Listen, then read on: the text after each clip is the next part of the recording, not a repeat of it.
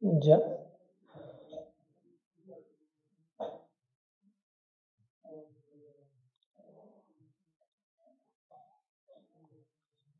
Hola Gustavo, ¿cómo estás? Gracias por escribir. Saludos, saludos a todos los que se están uniendo a la transmisión. Bueno, vamos a darle inicio al tema de día que es, eh, bueno, me pareció pertinente eh, en el marco de lo que es la, la, fotografía de naturaleza, ¿no? Últimamente estuve viendo bastante este, información, fotos, webinars acerca de la fotografía de naturaleza.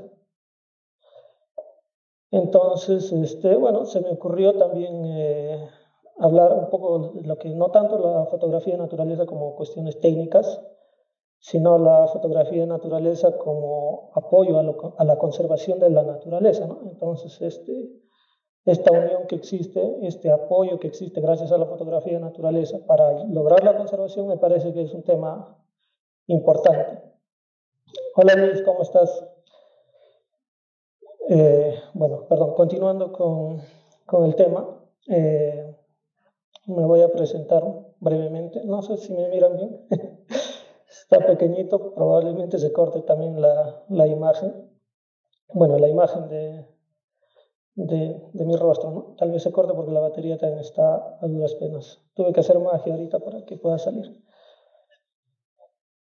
Bueno, eh, nombre es Jonathan Chancasana, soy bueno de acá de Perú, de la región central de Huancayo y tengo una formación como ingeniero ambiental. Y a la par, bueno, de, esta profesión es que empecé a descubrir la fotografía, ¿no? La fotografía de naturaleza.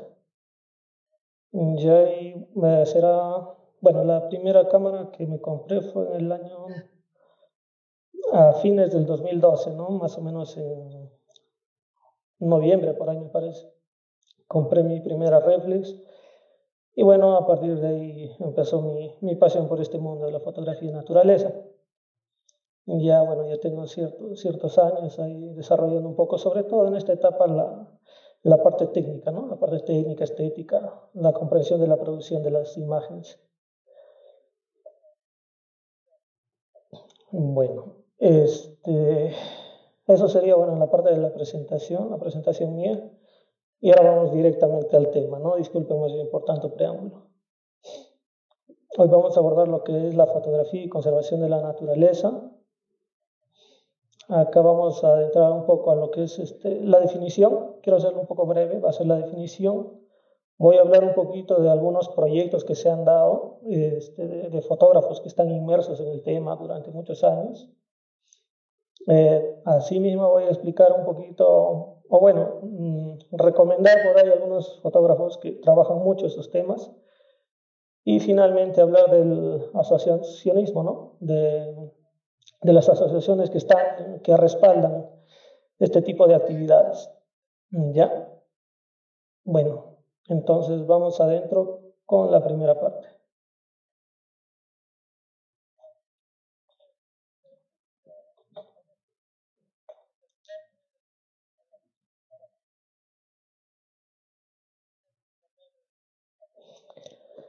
Bien, uh, vamos a...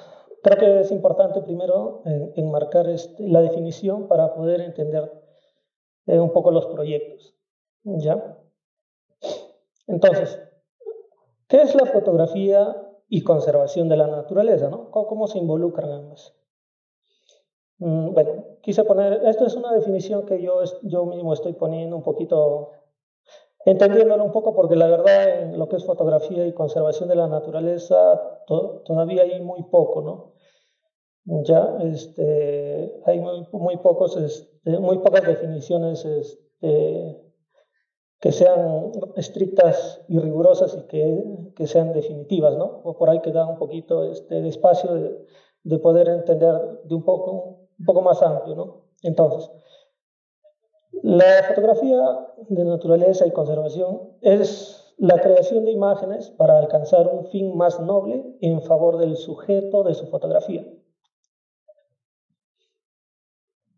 Para entender eso, la fotografía de conservación se encarga de captar un valor natural que puede estar siendo o no vulnerado por una actividad antrópica, el cual merece la pena ser conservado. A su vez, este registro gráfico debe ser capaz de generar una empatía con el espectador, de conectar con él y desenlazar un cambio de actitud en favor del valor natural presenciado. ¿Ya? Entonces, ¿qué nos dice, qué nos dice esta definición más o menos? A ver, para, para entenderlo un poco más. ¿Ya? Bueno, yo lo puse ahí, me parece que está bastante explicado, tratando de desglosarlo un poquito, sería lo siguiente. Por eso puse abajo unas, unas palabras, valor natural, emisor, canal, receptor y cambio de actitud.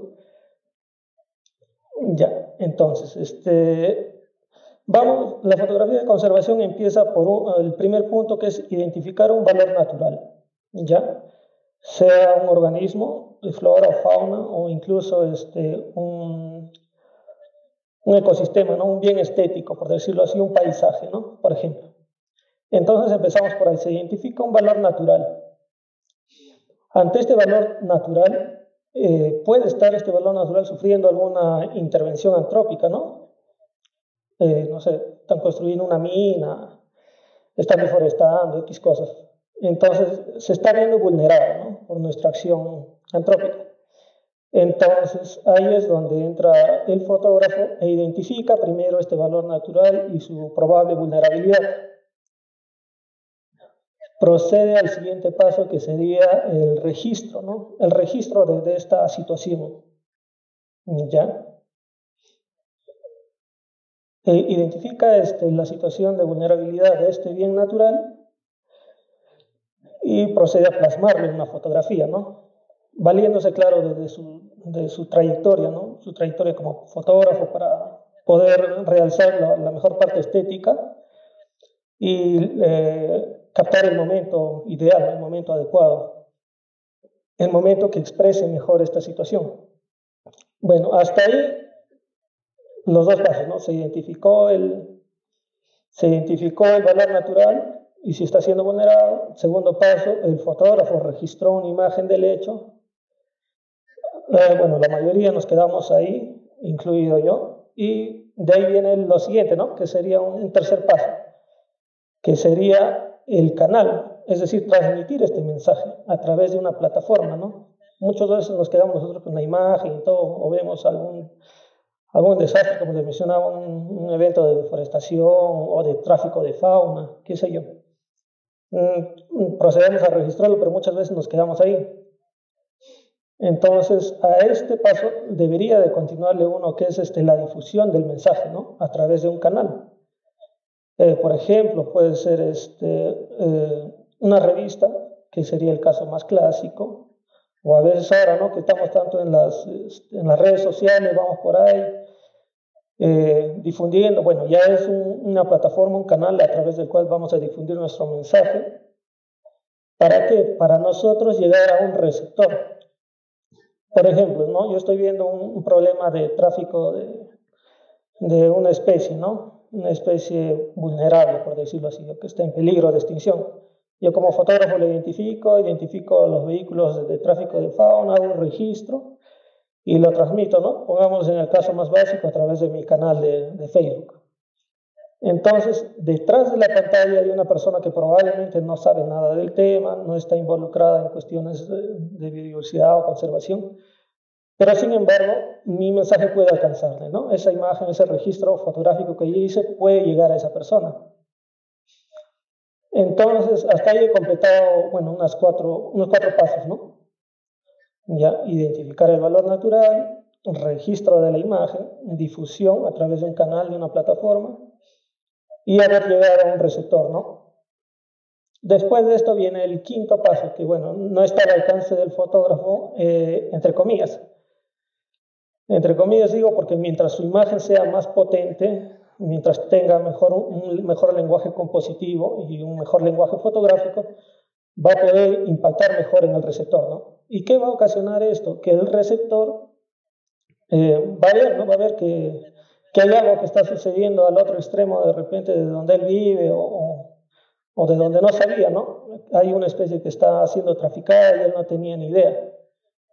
Y a veces algunas actitudes que él tiene pueden este, cambiar. Por ejemplo, eh, acá en la zona andina hay, este, hay uso de, ciertas especies animales para, en medicina tradicional. ¿Ya? Y bueno, mucha gente solo las ve en el mercado, bueno, ya están disecados, ¿no? Como el caso del pito, el ave, el ave pito, el colaptes rupícola, que bueno, dicen que es para problemas este, pulmonares y cosas así, ¿no? Y yo a veces paso por el mercado y puedo ver, ¿no? Puedo ver que están vendiéndola como cualquier persona, ¿no?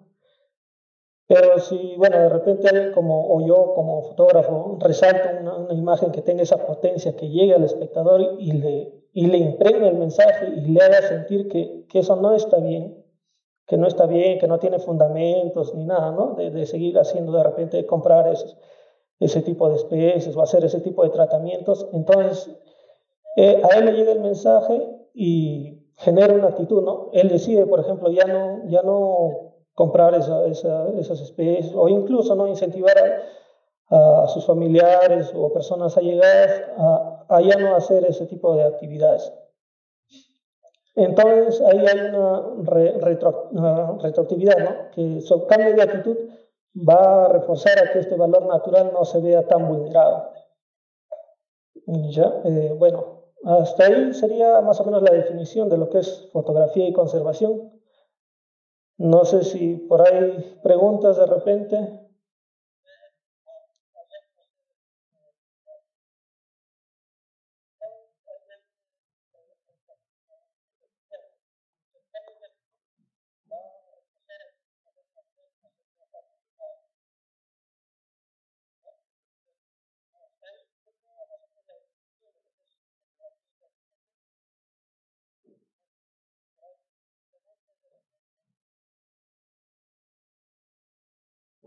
Ya. Parece que no hay preguntas, continuamos. Solo son 16 diapositivas. Voy en la segunda. ya una vez más o menos ya les he, he explicado este, cuál es el, el, contexto de la fotografía y conservación. Ya me gustaría abordar eh, algunos fotógrafos, ¿no? Algunos fotógrafos, en este caso, quisiera mencionar a dos fotógrafos eh, pioneros en el tema de fotografía y conservación, que vendría a ser eh, Galen Rowell y Ansel Adams. Ya ambos son norteamericanos. Ya. Eh, en este caso tenemos acá una imagen de Galen Rowell. Él nació en el año 1940 después de Ansel Adams y falleció, bueno, hace poco, ¿no? En el 2002. Esta es una de sus imágenes, eh, entre comillas, un, un tanto icónicas que fue tomada en el Parque Natural de Yosemite, en Estados Unidos. Y acá vamos a tener una segunda imagen de Ansel Adams. Ansel Adams, bueno, este, nació antes de Galen Rowell en el año 1902 y falleció en el año 1984. Eh, en el tiempo de Ansel Adams, eh, bueno, él se dedicó exclusivamente a lo que es fotografía de blanco y negro. Y acá vemos una vista, una escena paisajística, un tanto panorámica del, de Yosemite también, ¿no? Del Parque Nacional de Yosemite. Eh, ahora, ¿por qué estoy mencionando a Ansel Adams y a Galen Rowell? Ambos este, fotógrafos, sin saberlo, eh, de manera incipiente fueron desarrollando las bases de lo que sería la fotografía y conservación. ¿no? ¿Por qué? Porque, bueno, si bien es cierto, Yosemite eh, ya había sido creado como parque, como parque nacional, eh, prácticamente no había población que conociera la, la maravilla de, este lugar, ¿no?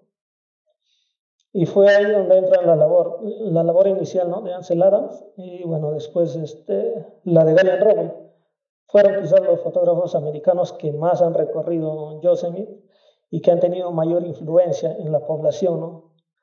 Si tú vas a Estados Unidos de repente y le consultas a alguien acerca de Yosemite, eh, es, es, indudable que alguien no te vaya a responder que, que ha visto una imagen de Ansel Adams de, de este parque natural. Y bueno, caso curioso, después de que Ansel Adams bueno, después de la labor de Ansel y Galen Rowell, eh, más o menos en el año 1940, si no me equivoco, se declara este patrimonio Patrimonio de la Humanidad al Parque Nacional de Yosemite, ¿no? justamente después de esta labor fotográfica que ellos hicieron. Entonces, este, si bien es cierto, es una fotografía documental, pero ya ellos están llegando a un público, ¿no? Están conmoviendo a, la gente, están haciéndoles conscientes de, los valores de la belleza paisajística en fauna y flora que, existía en Yosemite. Y fue gracias a ellos, ¿no? Que, se puso en valor, en valor a esta área natural.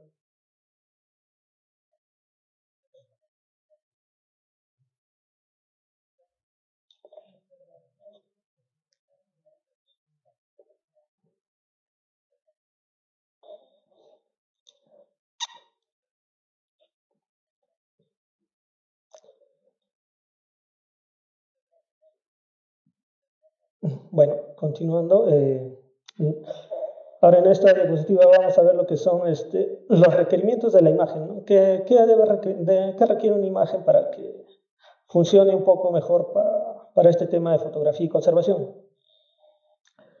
Para empezar, las imágenes deben ser este, lo más fieles a la realidad, sin, sin demasiados procesos de edición, sin manipulación, sin fotomontajes, etc. ¿Por qué? Porque yo tomo un paisaje, ¿no? Registro un paisaje y voy y me meto a Photoshop, le cambio el cielo, le pongo nubes, eh, no sé, no, le, saturo los colores, eh, le pongo un animal por ahí que no estaba, un ciervo de repente, no sé, cosas así.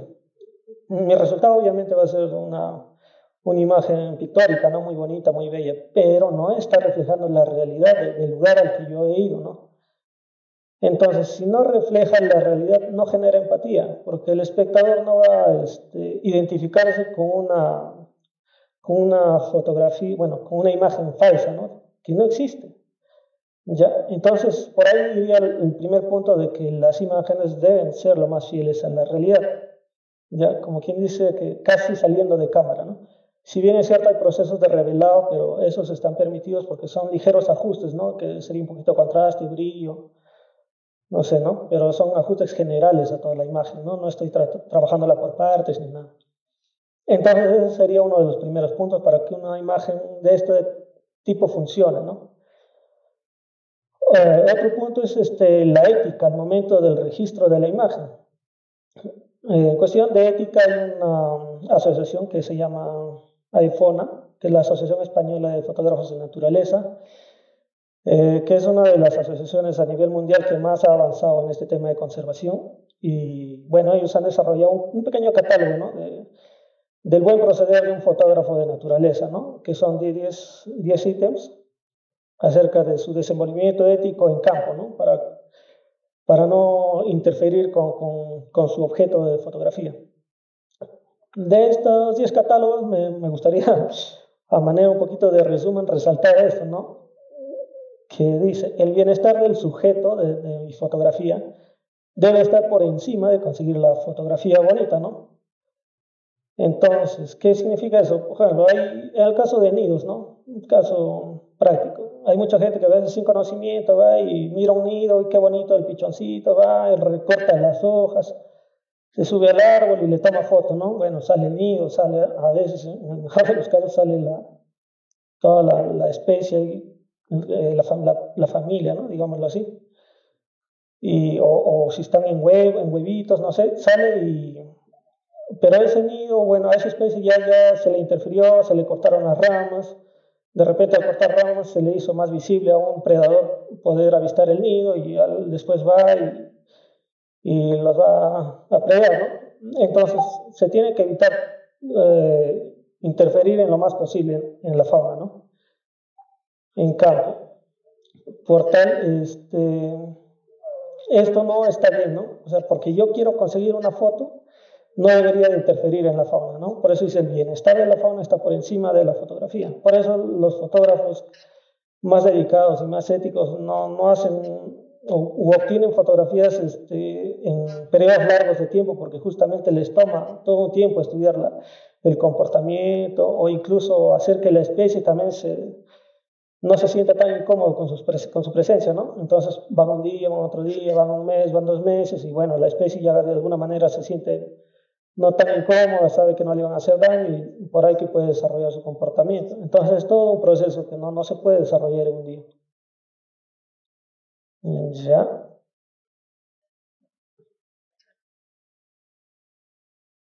Bueno, ahora en el tercer punto de, esto de lo que son los requerimientos de una imagen que funcione para fotografía y conservación, tenemos que el fotógrafo debe alcanzar un, ideal en lo que sería el lenguaje compositivo y el lenguaje fotográfico. Ya, el lenguaje compositivo, mm, llamémoslo así, es el lenguaje artístico, ¿no? Eh, a veces, muchas veces han escuchado que el fotógrafo tiene reglas o la regla de los tercios, no sé, ¿no? Cuidar el horizonte, cosas así. Bueno, aunque reglas está mal dicho porque en arte a veces no existen reglas, ¿no? Pero bueno, eh, lo más adecuado es hablar de proporciones. Entonces el fotógrafo debe conocer todas estas proporciones porque la fotografía finalmente es un lenguaje. Y él, mientras mejor conozca eh, ese lenguaje, las palabras de ese lenguaje, va a comunicar mejor. En este caso no hay palabras, ¿no? Para comunicar en fotografía tienes que saber composición, ¿ya? Todas las proporciones, tienes que estudiar este, las escuelas de arte, por ejemplo, ¿no? el arte clásico, que son finalmente los que mejor sabían ¿no? de composición y de cuestiones artísticas, estudio de color, de luces y todo ese tema. Todo ese tema entraría en el lenguaje compositivo. Y el otro, el lenguaje fotográfico, es el lenguaje del momento, ¿no? lo inmediato. Ya, eh, por ejemplo, en el caso de esta foto de la izquierda, un lobo saltando, ¿no? Eh, es, es, inusual ver un lobo saltando y que capte el momento preciso sería este, lenguaje fotográfico, porque antes de la aparición de la fotografía no sabían un poco ¿no? de estos temas de velocidad porque se escapaba de la vista. Entonces es un lenguaje nuevo que, que, se aportó a, a, las artes plásticas. ¿Ya? Eh, entonces un fotógrafo idealmente debe tener el bagaje de ambos tipos de lenguaje, ¿no? dominar el artístico y el, y el fotográfico, ¿no? Para lograr transmitir mejor su, su mensaje. El cuarto punto es el historial ético del fotógrafo, ya que tiene, bueno, es más creíble un fotógrafo que ha trabajado, digamos, 10, 15 años, 20 años en, fotografía de conservación, que alguien que sale de la noche a la mañana y, dice, no, que bueno, yo, yo soy esto o el otro. Entonces, eh, tiene que haber un, un, respaldo, ¿no? Lógicamente esto con los años se va forjando, pero pero es ah, lo más adecuado, ¿no? Ir haciendo una trayectoria pensando ya en el futuro, ¿no? Por ejemplo, si hoy día yo me propongo ser fotógrafo de naturaleza, eh, sé que como fotógrafo de naturaleza voy a ir evolucionando y todo, ¿no? Y mientras ah, más antes este, forje mi ética profesional, va a ser mejor para mí en el futuro, ¿no? En, en adelante. Y mi trabajo va a ser mejor reconocido, va a tener menos dudas, etcétera. Y al respecto de este tema ético del fotógrafo, eh, estoy dejando acá tres imágenes que me gustaría comentarles brevemente. la primera, esta de un lobo saltando una verja, es tomada, fue tomada en España. Ya, el fotógrafo se llama José Luis Rodríguez. Eh, el tema con esta fotografía es que, bueno, ganó un concurso internacional de fotografía, ¿no? de naturaleza. Pero tiempo después eh, hubo, una, una alarma, ¿no? De que empezaron a analizar la foto y por ahí, bueno, siempre en estos concursos hay este, biólogos, gente que, con mayor conocimiento, ¿no? Científicos, etcétera, ¿no? Y veían que hay una verja delante y el lobo está saltando la verja. Entonces, en biología animal se dice, ¿no? Que hay un principio de conservación de la energía. ¿En qué consiste? En que un animal, y más todavía un predador, eh, no va a gastar energía en vano.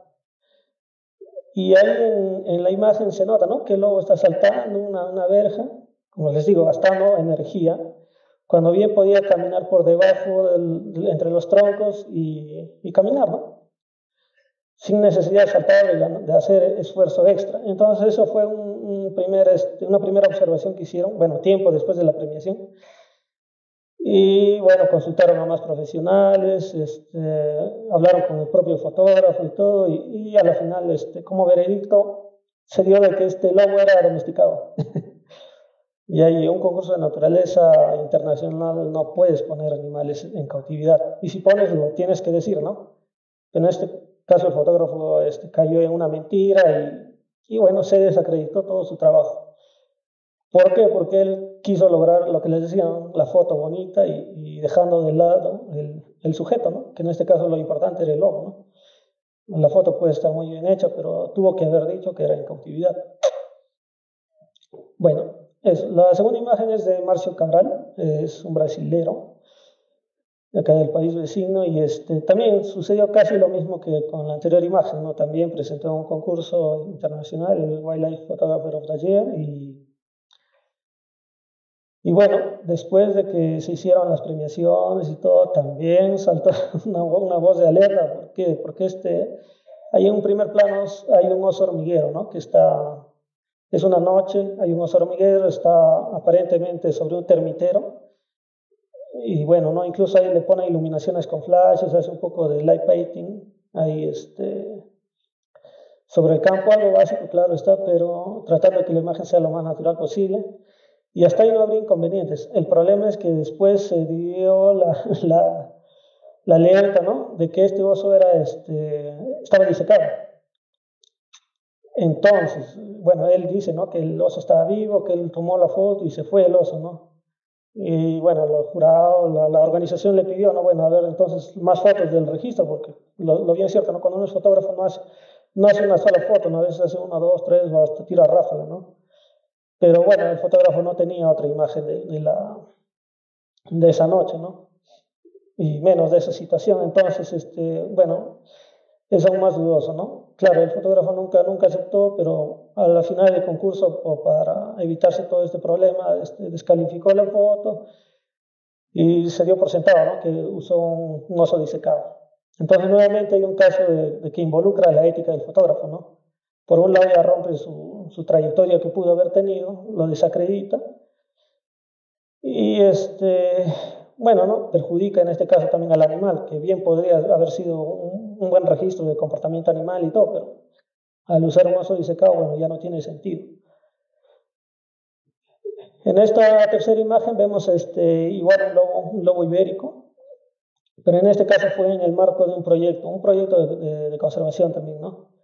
Ya no fue un concurso, sino fue un proyecto. Igual este, el proyecto se llama White Boulders of Europe y este lobo que están viendo ahí, también el fotógrafo dijo que era un lobo salvaje y todo, pero después se dieron cuenta de que, de que no, también registró un fotógrafo, un, bueno, registró un lobo en cautividad.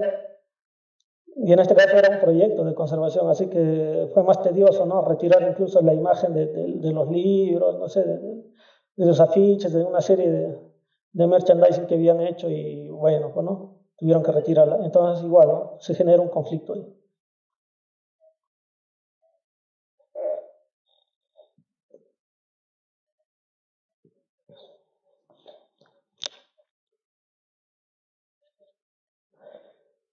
Bueno, eh, continuando, ya habiendo tratado un poquito el tema ahí del, de lo que es la fotografía, la ética, ¿no? los requerimientos de la imagen, ahora vamos a abordar un poco el tema de proyectos.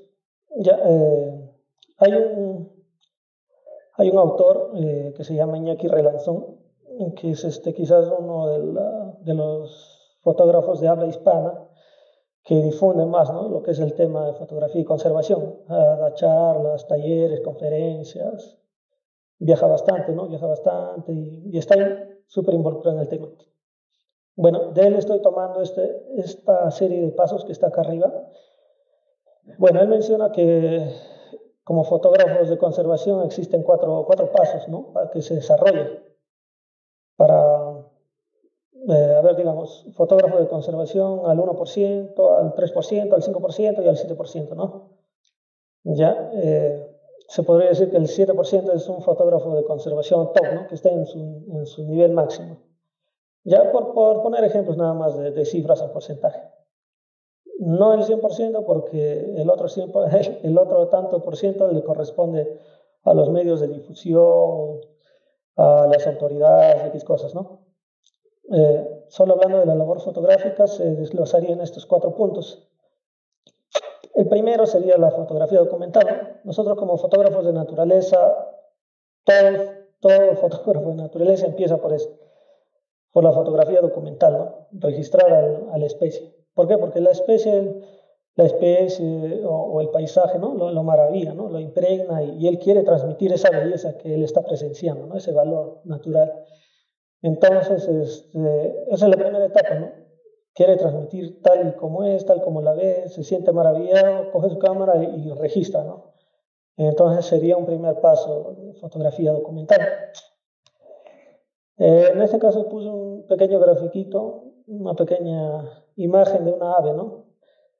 Eh, esta es una fotografía mía, es una especie Idiopsar especulífera, eh, es un ave de acá de la región andina.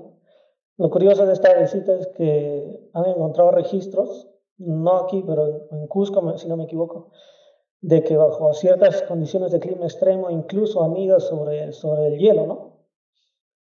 Anida sobre los nevados. ya, eh, bueno, es algo curioso de esta, de esta pequeña especie. Ya, y este sería el primer paso, ¿no? Eh, la fotografía documental. Una vez que el fotógrafo de naturaleza empieza a evolucionar en su carrera un poquito y le empiezan a preocupar otros aspectos, va desarrollando y pasaría lo que es a la segunda fase, ¿no? que es la fotografía de denuncia. Ya, eh, bueno, acá entran las imágenes ¿no? que, que muestran claramente que cómo un, valor natural se está viendo afectado ante una actividad humana. Eh, por poner un ejemplo, en esta parte puse una, una serpiente. Ya, eh, una serpiente ahí que está este, al borde de la carretera y a, lo lejos al fondo se ve un, vehículo, ¿no? un automóvil. Entonces, de por sí la imagen tiene un, un lenguaje ¿no? que se llama este, superioridad pictórica. ¿Qué significa eso? No? La, clásica frase que hemos escuchado que una imagen habla que, más que mil palabras es eso, ¿no? el principio de superioridad pictórica, porque yo puedo enseñar esta imagen aquí en China, en Europa, no sé, ¿no? hablen el idioma que hablen, pero van a ver la imagen y van a entender. ¿no? hay una serpiente al lado de la carretera y hay un carro en el fondo que está ahí pasando. Entonces van a relacionar el carro con la serpiente, ¿no? la serpiente ha sido afectada por, los vehículos en la carretera. Entonces este sería un segundo paso, ¿no? una fotografía de denuncia, de denuncia ambiental. ¿Ya? Eh, avanzando un poco más, el tercer punto sería este, el storytelling o fotoperiodismo, ¿no? como también se conoce a esta línea. Ese sería el tercer paso ¿no? de los fotógrafos. O sea, miren cómo va evolucionando, ¿no? Un fotógrafo de naturaleza que solo hace fotografía documental pasa, ¿no? A hacer fotografía de denuncia, porque obviamente le preocupa, ¿no? Que, que los bienes naturales que él tanto admira se están viendo vulnerados. Y empieza este, a registrar también estos, estos eventos, ¿no? Hasta ahí son fotos individuales, por decirlo así, ¿no? En este tercer punto pasa el storytelling o fotoperiodismo, donde ya se narra una historia, ¿no? Ya es una serie fotográfica, ya no es solo una imagen. Es una serie fotográfica ya que, se compone, ¿no? depende del, del, estilo fotográfico, se puede componer de 6, 10, 12 imágenes, ¿no? Y acompañada por lo general con un texto, ¿no? Un texto que complementa mejor lo que se está viendo, ¿no? Toda la historia. Entonces, aquí ya es ya se deja un, poco, un poquito el, individualismo fotográfico, o bueno, el, individualismo del fotógrafo, y se pasa a una etapa en la que tiene que asociarse necesariamente ¿no? con otros, este, otras entidades, ONGs, eh, revistas, eh, científicos, no sé, ¿no? Con una serie de, de, actores se ve involucrado para poder, este, para poder dar este, a, esta, serie, a esta historia, una mejor salida, ¿no? Como les mencionaba hace rato, eh, para que esta salida, esta historia encuentre un canal adecuado de difusión. ¿Ya? Aparte de eso, este, gracias a estos medios, a estas ONG, se puede llegar a donde normalmente como persona, como una persona individual no se podría, ¿no? Muchas veces tienes acceso a esos permisos, gracias a ellos, y puedes lograr registrar cosas que antes, aunque quisieras, no, no podías darte ese, privilegio. Eh, aquí tenemos una imagen de un, de un gorila, eh, un macho de loma plateado. La imagen fue tomada por Bren Stirton. Más adelante voy a comentar esta imagen. ¿ya? Y bueno, este sería el tercer punto. El cuarto punto, como fotógrafo de conservación dentro de su evolución, este, sería el, punto ¿no? el que les comentaba anteriormente, lograr conectar con el, con el espectador, ¿no? lograr que, ese, que cambie. Mira, de, fotografía de denuncia, donde está viendo un, evento adverso a la, naturaleza, pasa a narrar, a narrar con toda una historia y ahora ya no se quiere quedar ahí, sino que quiere que esta historia genere un cambio en el espectador, ¿no? Ese sería el cuarto paso. Aquí pongo de ejemplo este, una portada de National Geographic del año 1970, este, de un fotógrafo este, llamado Bob Campbell, ¿no? Él es el que tomó esta imagen. Este, más adelante, sí, más adelante voy a comentar esta, esta imagen. Igual, ¿ya? Pero entonces estos serían los cuatro pasos ¿no? de, de, un fotógrafo de conservación. Y he marcado aquí el, el tema del storytelling, el storytelling o fotoperiodismo porque es aquí donde generalmente se dan los, los, proyectos de fotografía y conservación. Porque como ya les dije, no, no solo se trabaja solo, el fotógrafo ya no está solo ahí, ¿no? ya está trabajando con ONGs, entidades, científicos, revistas. Ya entonces hay una, una mayor mayor involucramiento de actores y, entonces este, tiene mejor, mejores oportunidades ¿no? y su proyecto se ve más enriquecido. Y no solo por su iniciativa, sino porque también las otras asociaciones demandan este tipo de proyectos ¿no? para sus publicaciones, etc. Entonces es ahí donde se forman generalmente los proyectos, aunque hay de todas las categorías, hay, proyectos de fotografía documental, proyectos de fotografía de denuncia. Pero como les digo, generalmente es ahí en el storytelling o fotoperiodismo donde, donde se dan la mayoría de proyectos de esta, de esta categoría ¿no? de fotografía y conservación. Ah, bueno, ahí les dejo una pequeña frase que dice este, que para formar un proyecto uno debe pensar globalmente y actuar localmente, ¿no? Porque uno no, no puede ir y esperar cambiar la realidad del planeta, ¿no? Hay tantos fotógrafos y, repartidos en tantos lugares del planeta que es, no tiene mucho sentido, no es hacer demasiado esfuerzo pensarse en ir en África y cambiar alguna realidad de ahí cuando bien podemos hacerlo acá en casa, ¿no? que también suceden muchas cosas alrededor nuestro. Entonces la frase va por ahí.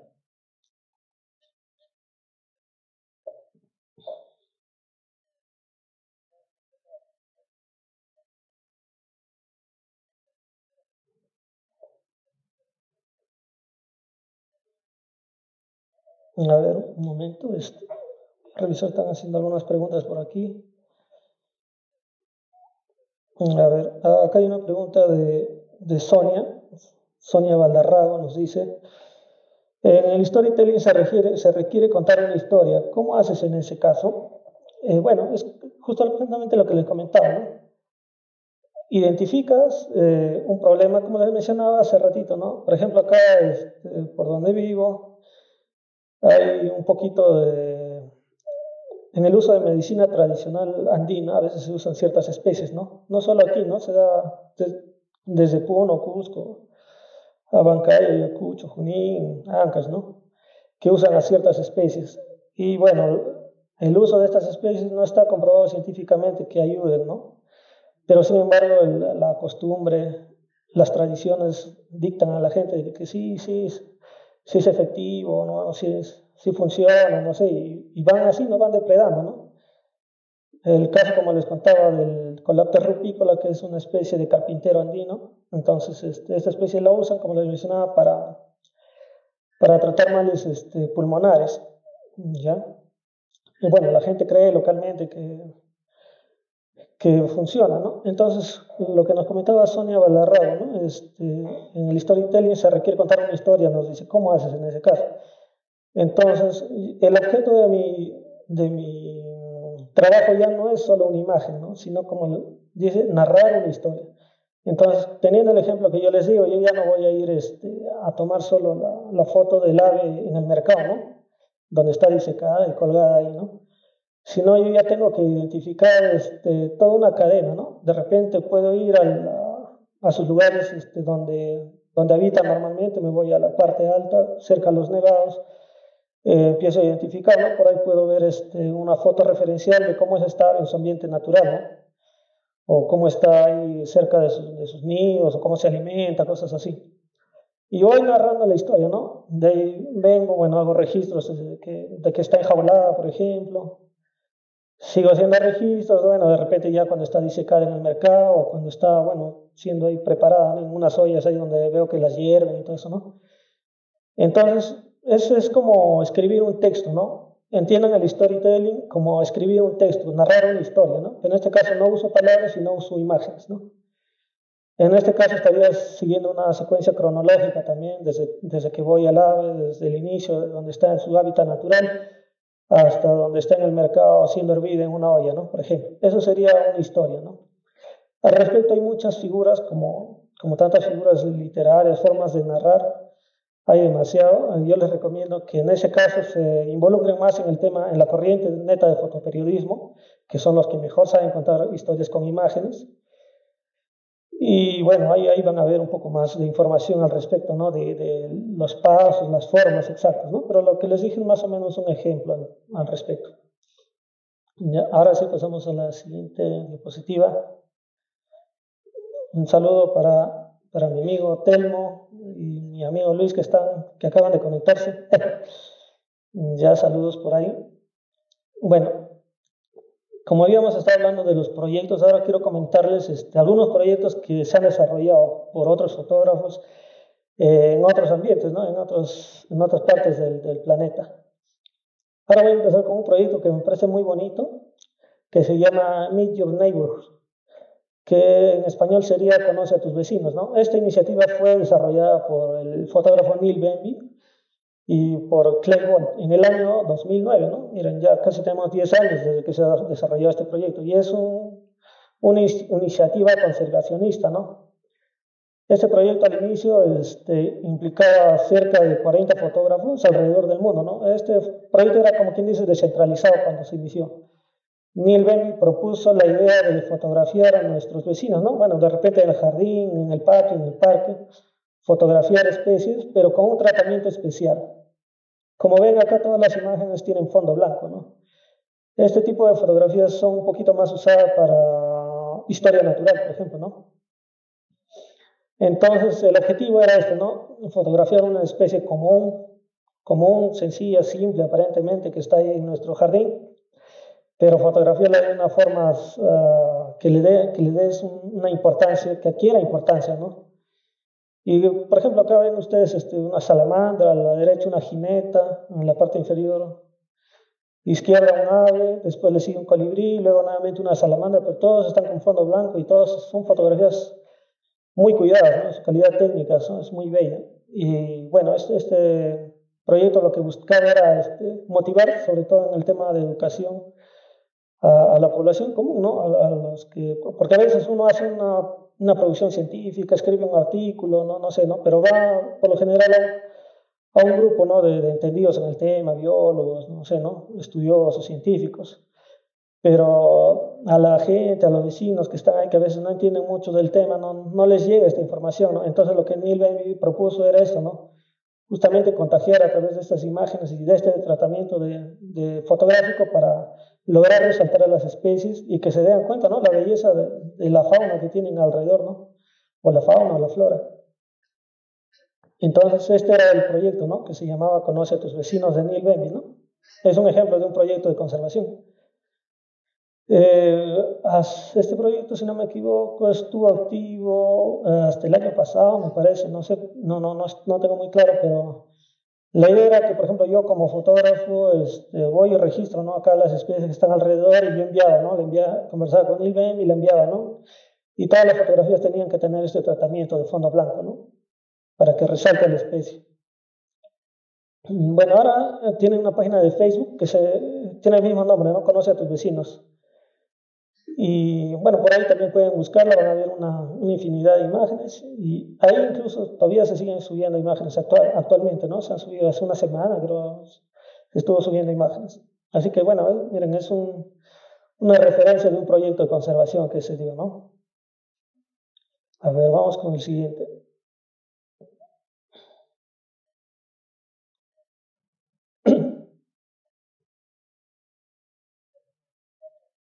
Eh, este proyecto se llama este, The Living Oceans. Eh, fue fundado por, bueno, fue creado por Bernardo Zambra y su esposa Valerie Cruz.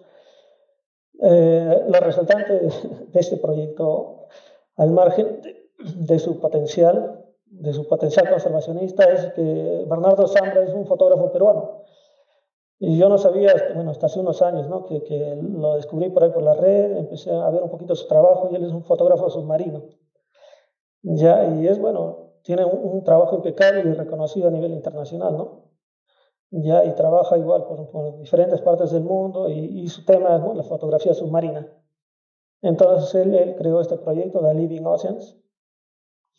Este, a partir de esto se desarrollaron, este, creo que tres libros donde se, se documentó el trabajo de, no solo de él, sino de otros fotógrafos alrededor del globo que estuvieron involucrados en este trabajo. Y este tipo de proyectos, si vamos a, a esta diapositiva, entrarían acá, ¿no? En fotografía documental. Ya tanto el, de Neil Benby, este de acá, Conoce a tus vecinos, como el de acá, de The Living Oceans, entrarían en esto, ¿no? Fotografía documental. Pero ven, son proyectos de conservación, ¿no? Sí, su, su prioridad es la difusión del patrimonio natural que existe. ¿Ya? Entonces, este, bien, seguimos con el siguiente, ya vamos a la mitad de la presentación. Este es un proyecto muy bonito que se desarrolló en Europa, se llama White Wonders of Europe, ¿no? o las maravillas de Europa, ¿no? maravillas salvajes de Europa. Ya, eh, este fue un mega proyecto porque convocó a cerca de 69 fotógrafos de todo el continente europeo y no solo a cualquier fotógrafo, ¿no? sino una de las de los requerimientos eran que tenían que estar de alguna manera involucrados con temas de conservación, ¿no? Ya, este, bueno, acá como podemos leer ahí, se realizaron 157 misiones fotográficas dentro de los 48 países europeos. Y yo, bueno, yo antes yo, yo creía que, bueno, en Europa, ¿no? Por el tema de que no, no había mucha, mucha fauna por allá, ¿no? Yo siempre he creído que Perú, bueno, esta parte de Latinoamérica era, tenía la, la, fauna más increíble del mundo, pero si bien es cierto, somos países mega diversos, pero Europa, China, Oceanía tienen, tienen una fauna increíble también, ¿no? Y una parte de este proyecto también era eso, ¿no? Demostrar la cantidad de, fauna existente en Europa, ¿no? En todo el continente europeo. Se hicieron más de 1.600 salidas a campo y se hizo un registro increíble de 220.000 imágenes y todas de calidad. Así la calidad que estamos viendo más o menos en pantalla, todas contando una historia, ¿no? Ya. Y no solo es eso, es como una radiografía al, al continente europeo, ¿no? Esto es una radiografía natural al continente europeo, porque te está marcando una línea de tiempo de la fauna que existe en ese momento, ¿no? ¿Ya? Son 220.000 imágenes de toda Europa, ¿no? Y todas del patrimonio natural. Entonces, de acá, por ejemplo, a 50 años, con, con, los cambios que vayan a suceder, esto va a ser un referente histórico, ¿no? De lo que había y lo que probablemente hay en 50 años. Si se hubiera hecho algo parecido hace, no sé, 50 años atrás, ahora sabríamos que tanto ha cambiado también, ¿no? Pero bueno, eh, eh, no, no, no, es tarde para nada. Y a partir de este proyecto, White Wonders of Europe, eh, nació un nuevo proyecto este, en China, en la región china, ¿no? Este, el proyecto igual se llama White Wonders of China, ¿no?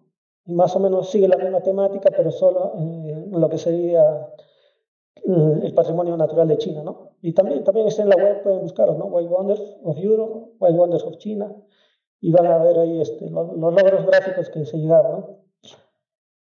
Eh, como ven, este proyecto Wild Wonders el de aquí, The Living Oceans, y el de Conoce a tus vecinos, entran en esta parte de fotografía documental y a su vez han sido trabajos este, que involucraron a varios fotógrafos, ¿no? Por ejemplo, en este son 69 fotógrafos que han trabajado en el proyecto.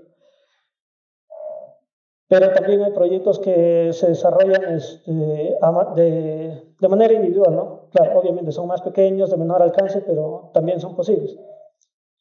Vamos a ver algunos pequeños ejemplos por aquí.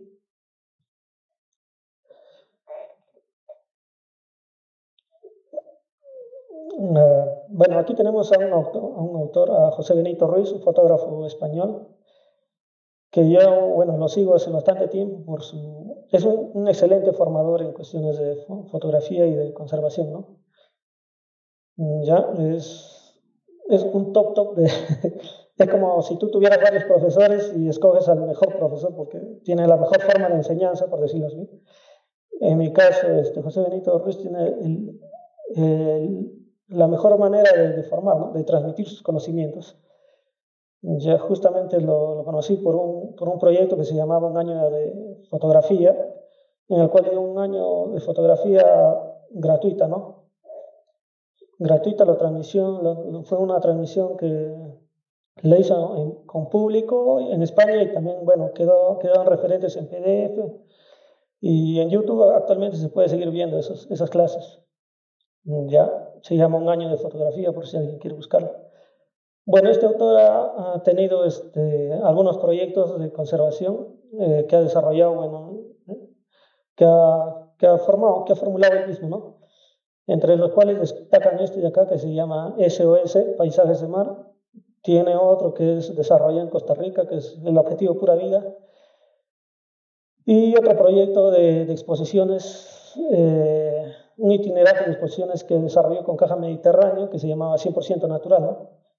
Ese proyecto era, este, escogió 100 imágenes de su cartera y, e hizo una exposición en diferentes lugares de, España, pero la característica de esa exposición era que eran en gran formato, ¿no? imágenes de más de un metro, eh, iluminadas con, con luces por, por detrás de los, de los paneles, no sé, muy, muy bonita la presentación. ¿no? Bueno, en este caso el, el proyecto SOS Paisajes de Mar, si vamos a nuestra diapositiva, se enmarcaría en esto, ¿no? Lo que sería fotografía de denuncia un poco, porque su objetivo de él es este, resaltar en este caso la belleza de los litorales mediterráneos en España y ver cómo la urbanización va, va destruyéndolos, ¿no? Eh, acá, bueno, para esta presentación no, no podido encontrar este, otras imágenes, estas son las únicas que encontré. Pero el tema de este proyecto era ¿no? que él también este, hacía hincapié ¿no? en, en, la urbanización, en los edificios ¿no? que se construyen al lado del litoral. Y a veces uno va, por ejemplo, yo voy hoy al litoral y veo una playa hermosa, paradisiaca, ¿no? Ya con rocas, muy bonito, todo limpio, ¿no? Y de ahí vuelvo de acá a cuatro años y ya no veo nada porque hay un edificio ahí en medio, ¿no? hay que estar tapándome todo, bueno, hay gente, ya que dejan basura, todo cambia, ¿no? Entonces él un poco lo que quería dar era esa alarma, ¿no? Por eso se llama SOS, ¿no? Que es una, una voz de alarma, ¿no? De paisajes de mar. Ya, eso fue, y también lo, desarrolló solo, ¿no? Bueno, después de, plantearlo, sé que tuvo algunos, este, algunos apoyos y ya eh, sobre la marcha ya hubieron más fotógrafos involucrados en el tema cerca de 17, si no me equivoco, pero bueno, ¿no? partió como una iniciativa personal.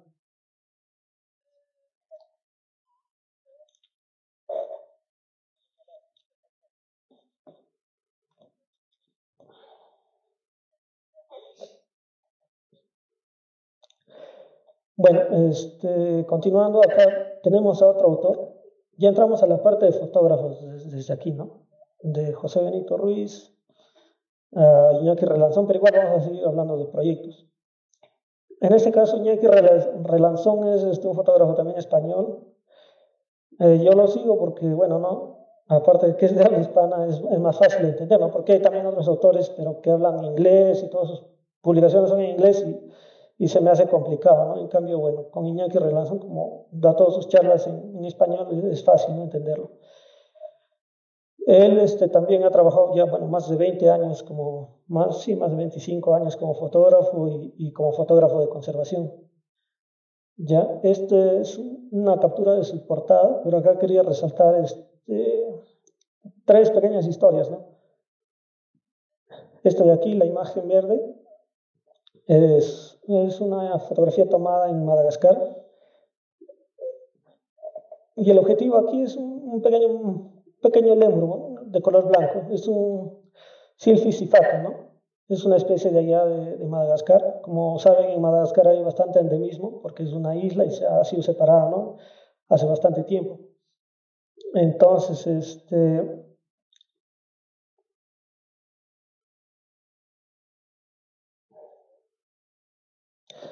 eh, bueno, respecto a esta especie había, él comenta, ¿no? Iñaki Relación comenta que había un, investigador, Eric Patel, que trabajaba con este tema de lémures. Y bueno, él estuvo en la selva, hay más de, más de tres meses en una carpa, internado, intentando ubicarlos y todo, y fue por ahí que tuvo un poco más de, apoyo de los locales, que son los que mejor conocen la zona siempre, y empezó a identificarlos. Y ahí fue, fue que contactó a Iñaki Relanzón, y él fue el que hizo los registros ¿no? visuales del silfisifaca, de, de su desarrollo, de sus problemáticas, ¿no? y ese es un, pequeño, un pequeño proyecto que él tiene, ¿no? individual. Otro proyecto es el de aquí, ¿no? esta imagen de acá de color naranja donde se ve el sol atrás y hay una, una silueta de un, de un cérvido, parece, ¿no? Es este, un oryx, un oryx arábico. Esta especie, este oryx arábico, este, se, se, extinguió, ¿no? O sea, fue declarado por la IUCN como extinto en libertad. Había, bueno, algunos zoológicos por ahí que, que lo tenían, ¿no? Pero ya en libertad no existía, ¿no? Y bueno, este encargo también tuvo Iñaki Relazón de, de narrar esta historia, ¿no? De este oryx arábico, cómo después de que varias organizaciones se pusieran de acuerdo para, para volver a reintroducirlo, en libertad, este, bueno, fueron con varios este, SOS que lo tenían, hicieron una serie de estudios, eh, procrearon, procrearon, ¿no? La especie empezó a procrear y empezaron a liberarlos, ¿no? Eh, al día de hoy ya salió de la, o sea, lo, lograron liberar en libertad y no solo eso, sino salió de la categoría de peligro crítico de extinción, ¿no? O sea, fue éxito, un caso de éxito total, ¿no? Una especie que ya estaba declarada extinta en libertad es un caso increíble, ¿no? Y, bueno, también es una historia que, que, él tuvo la oportunidad de narrar. Son pequeños cortos, ¿no? Estos son storytelling cortos. Acá hay otro que es este, el, último rinoceronte blanco, el de la parte inferior derecha. También es una pequeña historia donde el, el objeto era narrar la historia de este, de este rinoceronte blanco. ¿Y por qué dicen el último rinoceronte blanco? Porque esta especie ya estaba destinada a su extinción, ¿no? Uno, porque no era como el caso del oris arábico que había en varios zoos ni nada, al contrario, porque lo único que habían eran dos hembras y este macho, ¿no? Y ahí este macho ya por su edad ya no podía este, procrear, ya tenía más de 42 años, o 42 años creo, y ya no podía procrear. Ya, entonces este, habían dos hembras, un macho que no podía procrear y son los únicos en su especie, ¿no? Y bueno, tuvo el encargo de documentar este rinoceronte blanco y y difundirlo, ¿no? Como una historia de, de extinción, de una pérdida, ¿no? Una pérdida para la humanidad. Ya. Este, bueno, hasta ahí con, el, con, con los cortes de Iñaki Relanzón. Les recomiendo que le sigan su, su página, ponen su nombre y él les va a salir un montón de información de todo lo que es fotografía. Él es una autoridad en el tema, tiene, como les digo, más de 20, 25 años trabajando. Bueno, esta es la imagen que hace rato, hace ratito teníamos este, de Bren Stirton, ¿ya? Es una imagen impactante, ¿no? Bueno, si se acercan al, celular o a la pantalla, van a ver que es como si estarían llevando casi crucificado a un primate, ¿no? En este caso es un gorila lomo plateado, ¿ya? Esta imagen fue registrada en el año 2007, bueno, ya bastante tiempo, ¿no? Pero es, es una imagen icónica, ¿no? Que hasta ahora sigue rondando por las redes sociales y es un caso, un caso, ¿no? De este tema de denuncia ambiental. Ya, eh, esto, esta matanza sucedió en el, en el, Parque Nacional Virunga, ya en la República del, del Congo, ¿no? En ese caso, como les mencionaba, se veía un macho eh, lomo plateado siendo cargado. En este caso, los que están cargando no son este, los que lo han matado, ¿no? sino son los pobladores y guardaparques que después de haber identificado el, crimen este, lo están trasladando ya, ¿no? Lo están bajando de ahí de la montaña donde había sido asesinado, ¿no?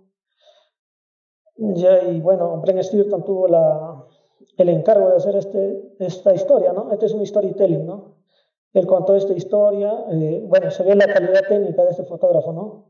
Ven las diagonales ahí de los palos de bambú, un primer plano, el uso de un angular, no sé, un dominio perfecto de la técnica fotográfica y, y, no por ello descuidando el lenguaje, ¿no? El lenguaje del momento que, que captura justo la escena, ¿no? No sé, ese, ese momento supongo que ha estado este, el piso mojado, condiciones este, no muy cómodas, ¿no? Para hacer la fotografía, pero él igual la supo desarrollar, ¿no? Y este fue un, un caso icónico, ¿no? De, de, la matanza de gorilas en, en el Parque Nacional Virunga. Ya, a partir de esta toma, de, este, de esta historia que nos salió publicada en National Geographic, eh, se tuvo más, más este, en consideración ¿no? a estos primates y se mejoró, ¿no? Creo que también después, después o casi en paralelo se declaró Patrimonio de la Humanidad, ¿no? El Parque Nacional Virunga.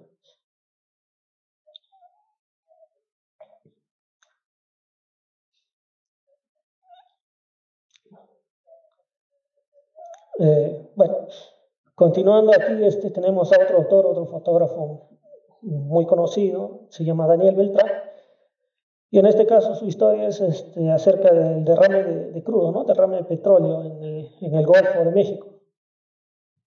Ya estas imágenes fueron tomadas en el 2010. Eh, aquí en este lado izquierdo se ve a, un pelícano, ¿no? la especie es Pelecanus occidentalis. Ya, eh, la empresa que ocasionó este derrame fue este Deepwater Horizon, una, una mega empresa, ¿no? Y fue, esto realmente fue un desastre ecológico, ¿no? En este caso los pingüinos ya han sido rescatados y es una organización las que los, puso ahí para poder hacerles la limpieza, ¿no? Y Daniel Beltrán tomó, de toda esta historia, esta es la imagen más icónica, ¿no? De estos pingüinos ahí a punto, bueno, ya cuando van a ser este, limpiados, pero miren, ¿no? Todo el petróleo, el crudo, ¿no? Cómo, cómo maltrata las aves. Al lado derecho se ve, al lado derecho se ve este, una humadera en, medio del mar. ¿no? Lo que hacen para limpiar el crudo en el mar, o bueno, lo que hacían en ese, lo que hicieron en ese momento, era este, tratar de juntar el crudo. Hicieron cerca de 411 puntos donde, donde juntaron el crudo en el mar, ¿no? 411 puntos y los incendiaron, ¿no? les prendían fuego para que se consuma y, ya no siga ¿no? sobre la superficie del, del mar. Ese fue uno de los, de los, métodos que usaron, ¿no? pero igual eh, que, que, quemar crudo en el mar también no es, es altamente contaminante y todo, pero a veces no, no, no hay otras soluciones, ¿no? Porque o es, o es la fauna, ¿no? O en este caso es emitir la, la contaminación a la atmósfera. Igual tuvo, tuvo consecuencias negativas por donde la vean, pero bueno, ¿no? Eso fue lo que registró Daniel Beltrán, un storytelling también que, que él tuvo a cargo.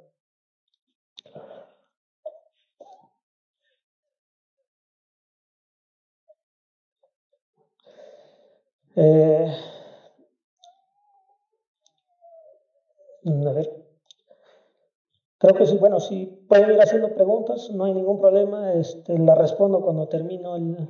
Ya faltan dos, un par de diapositivas. Y, si tienen alguna pregunta, no sé, lo que sea, si puedo, la, respondo. Si tengo. si sé de qué trata, si no, bueno, no, por ahí les puedo recomendar algo, no sé. Eh, con toda confianza pueden dejar los comentarios.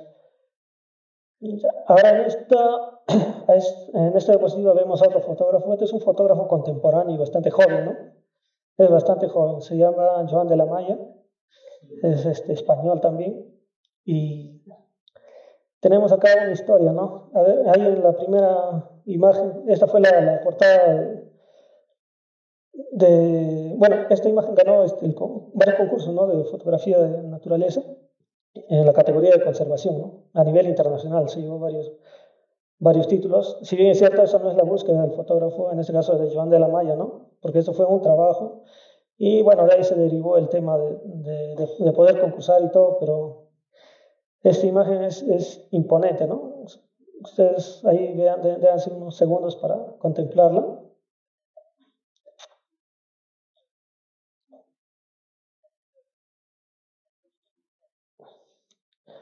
Ya, a ver, les cuento un poquito esta imagen. Este, esto fue realizado en Indonesia.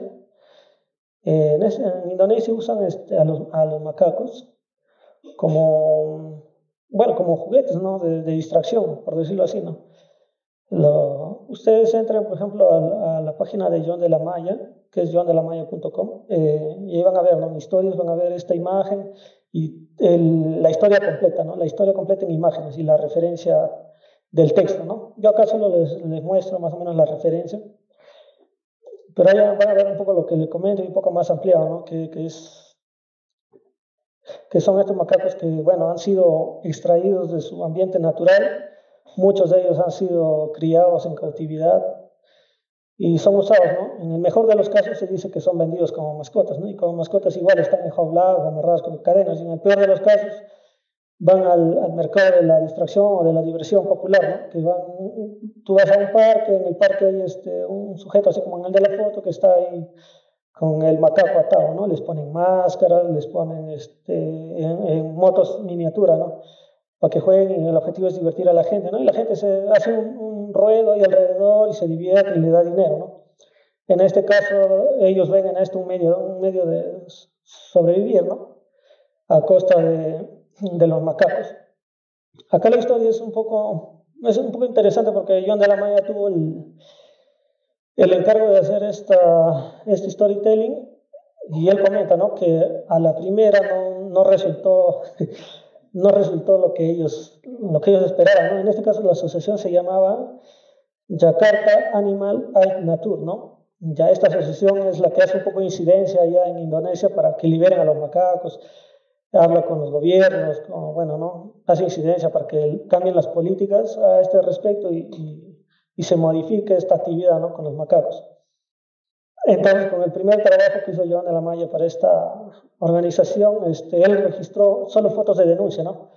Como vemos aquí y como vemos aquí. Ya, entonces, eso no, aunque parezca mentira, no le impactó ¿no? a, la, a los tomadores de decisiones, a los políticos, ¿no? Tuvo, tuvo, no tuvo el impacto esperado.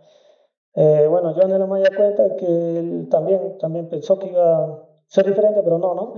Entonces él procedió a hacer este, un segundo storytelling, por decirlo así, un segundo intento.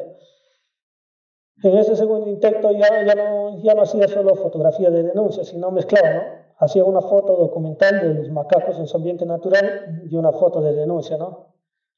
Y mostrar un poco lo que era antes, lo que, cómo vivía este macaco en su ambiente natural, cómo se desarrollan y cómo están en la ciudad, ¿no? Entonces este contraste así entender mejor el sufrimiento que, estaba teniendo esta especie, ¿no?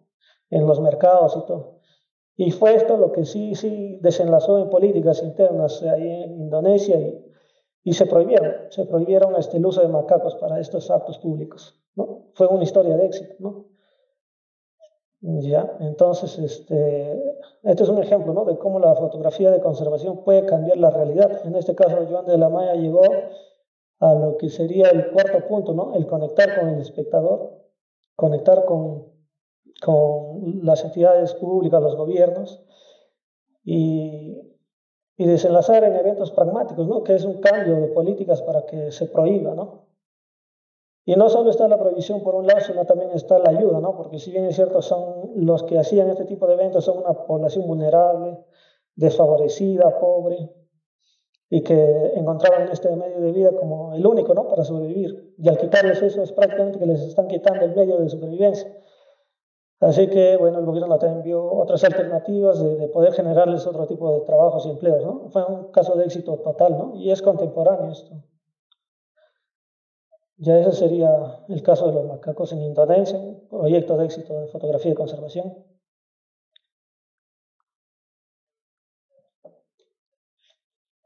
Ya, a ver. Antes de pasar a, la siguiente, me olvidé de poner una diapositiva. Bueno, pero la comento a partir de aquí. Esta, esta imagen, voy a tratar de ampliarla. Ahí creo que se ve mejor. eh, esta fue portada del National Geographic del año 1970, ¿no? La, portada es una, joven que está cargando un gorila de montaña. ¿ya? La chica se llama este, Diane, Foss, Diane Fossey. ¿ya? Y el fotógrafo este, que registró esto fue este, Bob Campbell, ¿no? Esto también lo comento porque es un caso de éxito, a pesar de que es antiguo, del año 1970, ese es un caso de éxito en fotografía de conservación. Porque, por ejemplo, Diane Fossey estuvo ahí trabajando con los gorilas de montaña, eh, con escasos recursos. Ella misma no, no, no, estaba, no tenía las condiciones adecuadas para realizar su trabajo, tenía muy poco apoyo de organizaciones, al punto de que prácticamente iba a dejar su, su, estudio científico. Eh, fue entonces que Bob Campbell fue y, cubrió, ¿no? cubrió esta, esta historia, y la historia fue publicada ¿no? por entero en la revista Nat del año 70. Es lo que les comentaba hace rato de encontrar un medio adecuado ¿no? de, la difusión del mensaje. No hubiera sido lo mismo publicar esta historia en una revista local que publicarla en una revista de la talla internacional, ¿no? de que se publica, no sé, en más de 33 idiomas, si no me equivoco. Entonces, este, a partir de esto fue tal el, fue tal el impacto y tal, este, tal la conexión con los espectadores que tuvo un apoyo inmenso. Después de esta publicación, este, Diane Fossey tuvo apoyo por todo lado para que pueda seguir desarrollando su, investigación acerca de gorilas de montaña. ¿Ya? Y se popularizó más, ¿no? Incluso se sacó una película que creo que se llama este, Gorilas en la niebla, si no me equivoco. ¿Ya? Es, eso quería comentarles también. Es un caso de éxito, ¿no? Como les decía, similar al de Joan de la Maya, donde, donde el fotógrafo llega a esta cuarta etapa, ¿no? Que es conectar realmente con el espectador y lograr un cambio, ¿no? Un cambio en favor de, del bien natural que está siendo vulnerado. Ya. Bueno, ya con la penúltima diapositiva, ya para terminar, eh, me gustaría dejar acá algunos fotógrafos este, que, que, están en el tema, inmersos en el tema de conservación, fotografía de naturaleza, que tienen una amplia trayectoria ética y bueno, seguramente muchos de ellos son conocidos por, por varios de nosotros, ¿ya? Está en el primer caso Neil Bemby, de quien les comentaba al comienzo, ¿no? Del proyecto Este Conoce a tus vecinos. Está Joan de la Maya, que ya lo comenté. Daniel Beltrán, que cubrió el tema del, del petróleo en el Golfo de México. Está Nick Nichols, Bob Campbell, que les acabo de comentar con el tema de Diane Foss y los gorilas de montaña. Está James Balog, que trabaja mucho en, temas polares y de cambio climático. Está José Benito Ruiz, igual, ¿no? José Benito Ruiz, también que les comentaba, un, excelente formador de fotógrafos de naturaleza, al margen que tiene un trabajo impecable, ¿no? Y una trayectoria amplia. Acá tenemos este, a Oriola Lamani, también un fotógrafo español que trabaja bastante en lo que es la conservación. Actualmente está trabajando es de proyectos con el leopardo de las nieves, como pueden ver aquí abajo. Esa es su fotografía. Eh, tiene más de tres años, tres, tres, tres años y medio trabajando ¿no? con, con leopardo de las nieves y apenas tiene una serie fotográfica, no sé, de 20, 25 imágenes, no más, ¿no? Y la mayoría son lejanas, ¿no? Alejadas. Es por eso que muchas de las fotografías que vemos en Internet, en Instagram, la mayoría son con animales este, cautivos, animales entrenados, este, tomadas en zoos, porque en realidad lograr esas imágenes en ambientes totalmente salvajes es muy difícil, ¿no? Requiere esfuerzos sobrenaturales, por decirlo así. Eh, bueno, seguimos, tenemos a Antonio Liébana, también español, Sebastián Salgado, es un, un, referente, Sebastián Salgado, si bien cierto hace fotografía un poquito más social desde un inicio de su carrera, uno de sus últimos proyectos que se llamó Génesis fue volcado netamente a la fotografía de naturaleza, ¿no? y muy característico él por su tratamiento de blanco y negro. ¿no? Esta de aquí es una de sus imágenes, unas focas ahí que tomó. ¿Ya? Y bueno, su proyecto Génesis y sus trabajos que él mismo hace ahí en, Brasil, en lo que fue el rancho de su, padre, que reforestó toda la zona eh, y creó el Instituto Terra, es un ejemplo a seguir. Luego sigue acá Cristina Mittermeier. Cristina Mittermeier es la fundadora del, ILSP. En la siguiente diapositiva voy a comentar qué es el ILSP. Y ella tomó esta foto, por ejemplo, ¿no? Esta foto de acá, un oso polar famélico, ¿no? A ver, la ampliamos un poquito. Ya, este es un oso polar famélico que ella estaba junto con Paul y vieron a este oso, ¿no? Que estaba este, rondando ahí por los basureros. Claramente, ¿no? Es un oso que está desnutrido al borde de, la muerte. Bueno, hicieron el registro de la imagen y este, este registro, esta sola fotografía, acompañada de un clip de video, este, logró lo que, lo que hasta en ese tiempo, creo que esto fue el 2007, si no me equivoco. Bueno, no me acuerdo exactamente cuándo fue esta fotografía. Ya, pero este, logró lo que en ese tiempo no habían logrado este, la cantidad de textos o evidencia científica que se había acumulado en torno al cambio climático. Mucha gente no entendía, había demasiada documentación, qué, es el cambio climático, qué, es esto, no sé, ¿no? No, no llegaba a la gente, no llegaba al público eh, esta idea del cambio climático. Fue a partir de esta imagen que tomó este, Cristina Mittermeier, que dio la vuelta al mundo literalmente de manera virtual, claro está, y logró empatizar con la gente, ¿no? Logró hacerles comprender qué era el cambio climático y cuáles son los efectos que se está teniendo. Al margen de eso, bueno, Cristina Mittermeier y Polnick tuvieron problemas por esta imagen, de que había muchos detractores o negacionistas del cambio climático, de que dijeron de que no, que eso es mentira, que eso está mal o tienen problemas, no sé, X cosas, ¿no? Pero al margen de eso, este, esta imagen como les repito, este, lograr lo que no habían logrado, muchos textos científicos, ¿no? Hacer entender qué es el cambio climático y que nos afecta a todos, y que hay muchos que ya lo están sufriendo. Bueno, seguimos, acá está Paul Nicklin, es un fotógrafo sobre todo que trabaja en el Ártico. Esta imagen de acá de la es impresionante, ¿no? Es un fotógrafo submarino, Paul Nicklin. Bueno, hace, hace todo tipo de fotografía, ¿no? pero trabaja, como les digo, principalmente en el Ártico. Acá se ve una foca leopardo y un pingüino, ¿no? El pingüino en este caso ya está muerto, ya, ¿no? Está, por eso su cuerpo está cayendo inerte de la superficie y ahí es donde está aprovechando la, foca leopardo, ¿no? Para poder comérselo y es el momento preciso en que captó la fotografía.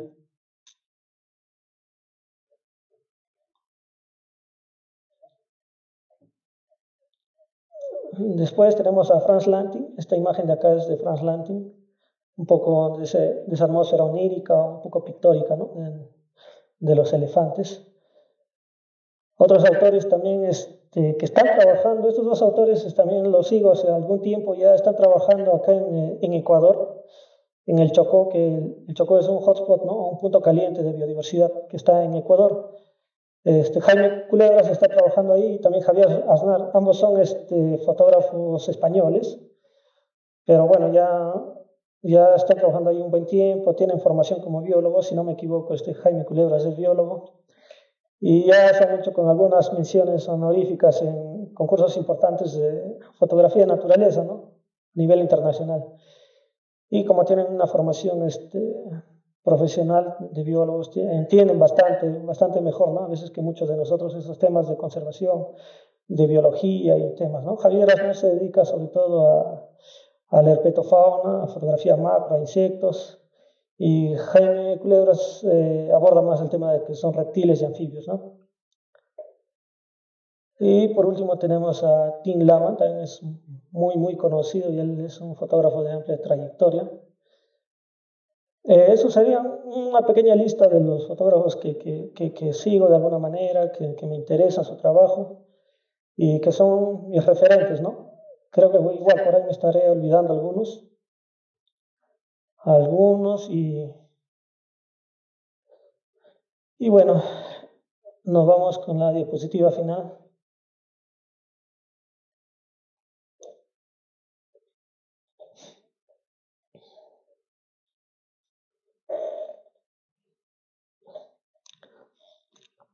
A ver, este, bueno, para cerrar este, este capítulo de lo que es fotografía y conservación, me gustaría hablar acerca de lo que es el asociacionismo, ¿no? O formar sociedades en torno a este, a este tema en común que es la fotografía de naturaleza. Ya voy a mencionar a dos que son las principales. Uno es el ILSP, como les mencionaba hace arribita, este, Cristina Mittermeier, la que tomó la foto del oso polar famélico. Ella fue la fundadora de, del ILSP en el año 2005. El ILSP es la Liga Internacional de Fotógrafos de Conservación, ¿no? Reúne a más de un centenar de fotógrafos inmersos en el tema de naturaleza y conservación en todo el, en todo el planeta. Ya, aparte, tiene unos, un formato de ingresar, ¿no? No cualquiera entra en esta asociación. Te piden trayectoria, te piden trabajo, te piden este, calidad, calidad fotográfica, es una serie de requisitos. Ustedes entran a la página, ponen este ILSP buscan, lo googlean y le va a salir ahí, y en la parte de, de, entradas ahí van a ver este, todos los requisitos que te piden para que puedas pertenecer a esta, esta asociación. Ya que me parece muy bien que restrinjan bastante porque eso hace que los que están dentro sean los mejores, ¿no? por así decirlo. Ya, el otro, la otra asociación que también trabaja bastante y es un buen referente es la Asociación Española de Fotógrafos de Naturaleza, ¿no? AEFONA. Ya esta asociación tiene el respaldo de American Beer Conservancy, de WWF, de Conservación Internacional, entre otras ONGs de talla mundial. ¿no? Y tiene el respaldo y ha sacado algunos documentos, publicaciones, hace reuniones que le llama Wiley Speak, donde se hace, son como conservatorios de, claro, conversatorios de lo que es fotografía, conservación, avances, proyectos, etcétera, ¿no? Eh, ellos también son los que, los que formularon el catálogo de fotógrafo de naturaleza, el catálogo ético, que son 10, como les comentaba casi por la parte inicial. Ya, eh, bueno, ellos son lo, hasta donde yo tengo entendido, lo que, a donde nos podemos referir un poco mejor ¿no? en este tema de conservación de, de la naturaleza con el uso de la fotografía. Luego tenemos otras iniciativas, creo que por aquí cercanas. En Argentina, por ejemplo, tenemos este, la Asociación Argentina de Fotógrafos de Naturaleza, AFONA, que ya tienen, no recuerdo la cantidad de años exacta, no son muchos, pero este último año se ha perfilado mejor y ya, bueno, está haciendo ponencias de talla internacional, está trayendo fotógrafos del continente europeo, ¿no? Y ya eh, ha tenido una mejor, un mejor desempeño, ¿no? La asociación. Y eso no es un beneficio solo para como asociación, ¿no? sino también como fotógrafos que, que estén involucrados en el tema.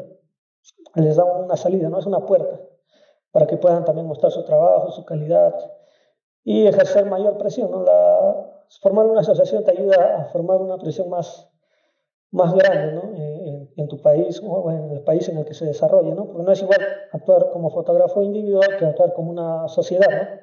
Incluso a nivel legal se puede tener mayores ventajas. Otra asociación es la que está en México, aquí, hablando de Latinoamérica, Centroamérica, en México, se llama Comunidad Mexicana de Fotógrafos de Naturaleza, el CMFN. Es, es muy fuerte también la, la interacción que tiene esta, esta comunidad, reunir una cantidad enorme de fotógrafos. Tiene también su página de Facebook que tiene el mismo nombre, Comunidad Mexicana de Fotógrafos de Naturaleza.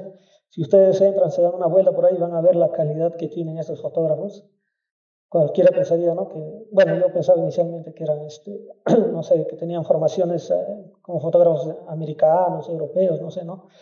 Pero me sorprendí cuando vi que eran mexicanos y su, nivel es bastante altísimo.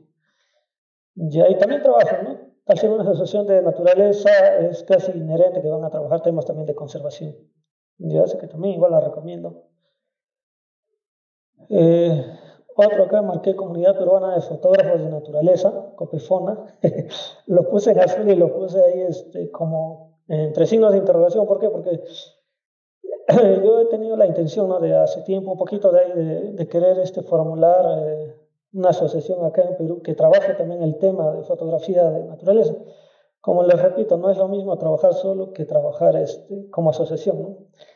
Tienes más fuerza, te oyen con más, con más entusiasmo ya aparte eres un, un, ente modulador, ¿no? Por ejemplo, acá en Perú no existe alguien que, que, modere lo que es la fotografía de naturaleza o su intervención en el campo, no sé, ¿no? A pesar de que somos un país megadiverso.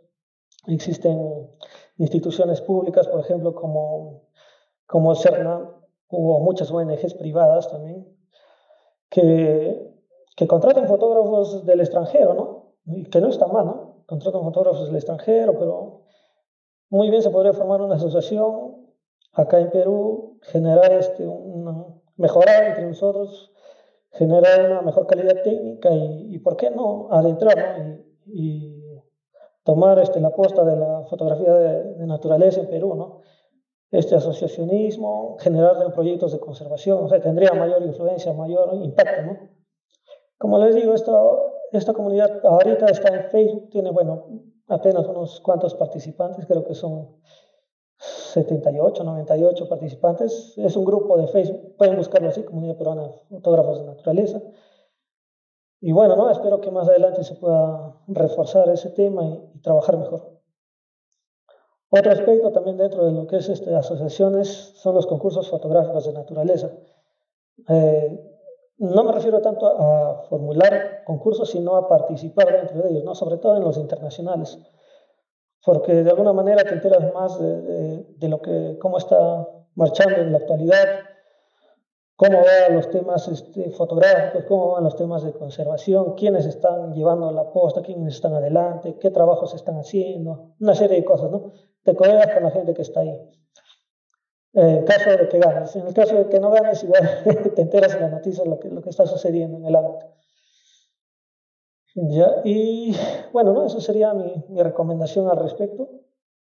Y creo que aquí, aquí se habría terminado este, la, la, la charla ¿no? pendiente para hoy día, eh, lo que sería fotografía de conservación y naturaleza. Ahora, bueno, voy a ver a ver si hay algunas preguntas. Si no, bueno, ya cortaré con la transmisión.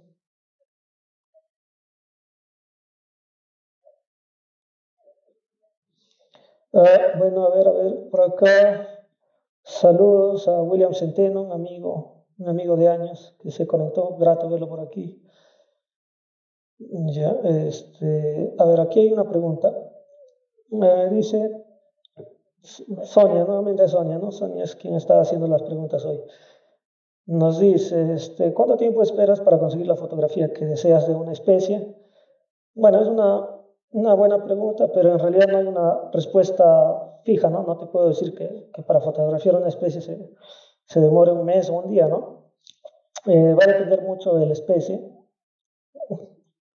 En primer lugar, va a depender mucho de la destreza de del fotógrafo va a depender mucho del equipo que tenga el fotógrafo y de las condiciones.